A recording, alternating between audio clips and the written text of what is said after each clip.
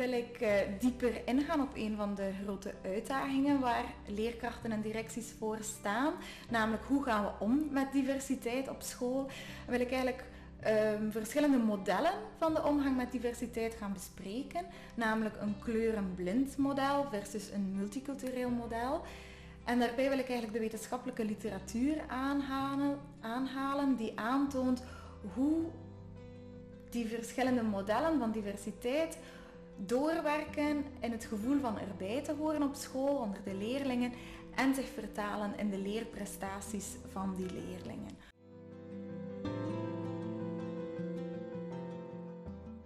Grootschalig onderzoek van ons Centrum Sociale en Culturele Psychologie, geleid door professor Vallet, heeft namelijk aangetoond dat de aanpak omtrent diversiteit op school een impact heeft op de mate waarin leerlingen zich thuis voelen op school en dat dat op zijn beurt weer een impact heeft op hun leerprestaties.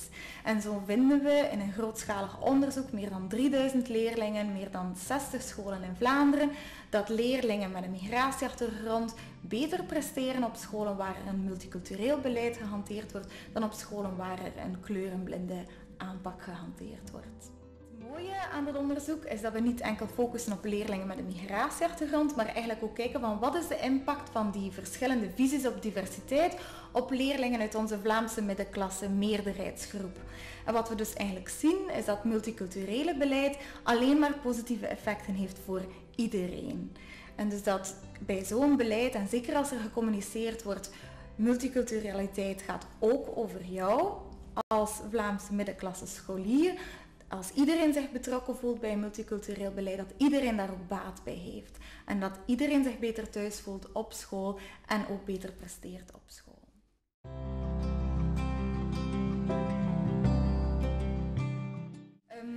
Om de kloof te dichten in onderwijsprestaties tussen leerlingen met een minderheids- en een meerderheidsculturele achtergrond of uit lagere en middenklasse sociale milieus, kunnen we verschillende maatregelen nemen. We kunnen inzetten op um, tegengaan van segregatie, we kunnen proberen meer middelen in te zetten voor scholen, maar we kunnen ook inzetten op de psychologische mechanismen die ervoor zorgen dat leerlingen het gevoel hebben van school is een plaats voor mij, ik kan presteren, ik ik kan, als ik hard werk, dan kan ik er komen. Ik hoor thuis op school. En we weten uit onderzoek dat het gevoel van ergens bij te horen, van het gevoel te hebben dat je identiteit gewaardeerd wordt, dat dat heel belangrijk is in leerprocessen.